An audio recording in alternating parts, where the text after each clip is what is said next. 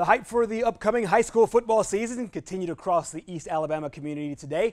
The 10 football playing schools in Talladega County held its ninth annual football media day at Shocco Springs. For obvious reasons, this session was a bit different in many ways, but also a lot of things remain the same as teams prep for the year. Preseason practice started last Monday, so teams have acclimated to the new coaching and practicing during this very difficult time. We're approaching each day as, as a precious gift from the Lord. You know, we, we, we talk every day that um, we're not certain what tomorrow is going to bring, so we need to make sure that today we're doing everything we can possibly do to uh, fulfill this day and, and make it the best day we can be. The summer's been, you know, different to say the least. We've never been through what we've been going through, but um, you know, the thing about being a football player is we had a lot of kids in there working, getting better. But the thing about being a football player is you take adversity, turn it into excellence.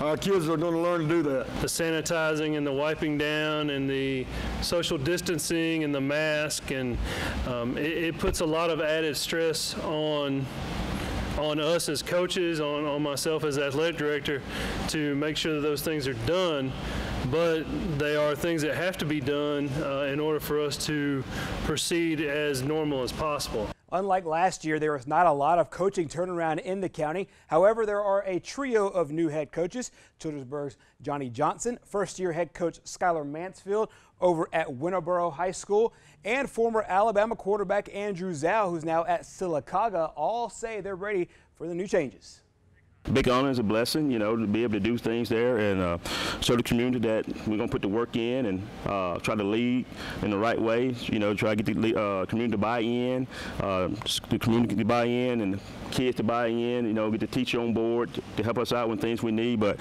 hey, we're looking for a great year. I uh, hope everything work out so we'll be able to play and they can see the work we've been putting in. I felt like I could, I could stay there till I retire. But, you know, once I got that mindset, it was like um, God, God speaking, saying, look, it's time for you to um, excel. You've paid your dues. It's time for you to uh, move up. I think we're good. I, I, think our guys have really picked up, and they, and, and I, we, I, was sort of asking that question as we, we came over. Um, these guys have really bought into what we're selling. Um, we got some things that they, they may not have done in the past, but I think they're excited about it, and I think that they've uh, they really bought in to um, getting getting some guys the ball. We'll go in depth with individual team previews over the coming days and weeks as the high school football season draws near. Kickoff of the 2020 campaign set for Thursday, August the 20th.